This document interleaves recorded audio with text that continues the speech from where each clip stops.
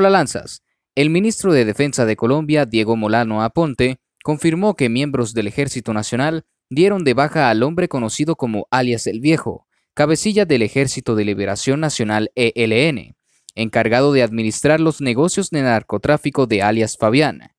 No importa dónde se escondan, siempre los encontraremos, fue el neutralizado alias el Viejo. En menos de dos meses hemos golpeado contundentemente el bloque occidental de guerra de ELN. Este cabecilla llevaba 25 años delinquiendo en Chocó, informó el jefe de la cartera de seguridad. A sus palabras se sumó un comunicado oficial de la institución castrense, en el que se detalla que la operación fue desarrollada en la vereda El Limón, municipio litoral bajo San Juan, departamento de Chocó, cuando efectivos del Ejército Nacional, después de un trabajo de inteligencia sostenido, lograron ubicar y neutralizar a este individuo que hacía parte del Estado Mayor del Frente de Guerra Occidental. En dicho operativo, participaron efectivos del Ejército, la Policía Nacional y la Fiscalía General de la Nación, que cumplían las directrices del Plan Bicentenario Héroes de la Libertad. El mismo ordenaba la búsqueda del hombre también conocido como alias Julio, a quien se acusaba de estar reorganizando las estructuras criminales que delinquen en el Pacífico colombiano, específicamente en la subregión Medio y Bajo San Juan. Alias Julio o el Viejo llevaba más de 25 años de trayectoria delictiva como miembro del grupo armado organizado ELN, y tenía bajo su mando el Frente Ernesto Che Guevara y la autodenominada Compañía de Fuerzas Especiales Omar Silgado. Era requerido por las autoridades judiciales por los delitos de homicidio en persona protegida, secuestro, extorsión y desplazamientos forzados de diferentes comunidades del Valle del Cauca y Chocó, agregó el ejército.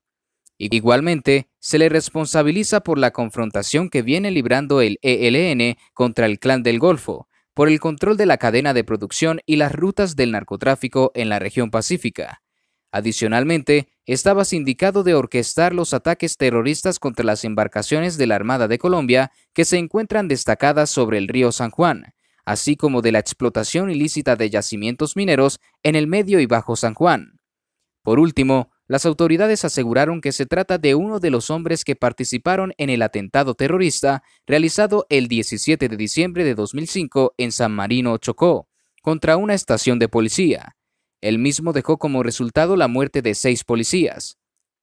Con la muerte en desarrollo de operaciones militares de alias Julio o el Viejo, las fuerzas militares logran desestabilizar los planes estratégicos del Frente de Guerra Occidental del ELN, referente a la expansión de sus estructuras armadas, reduciendo la materialización de delitos de impacto como el homicidio, la extorsión, el secuestro y las acciones terroristas contra la fuerza pública, concluyó la institución.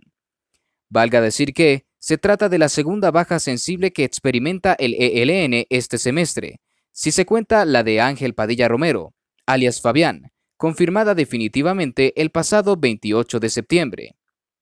El campamento del que era considerado el mayor cabecilla de esa guerrilla en el Chocó había sido bombardeado a mediados del mes pasado, y de acuerdo con el ministro Molano, existía una alta probabilidad de que el criminal hubiera muerto en medio del operativo.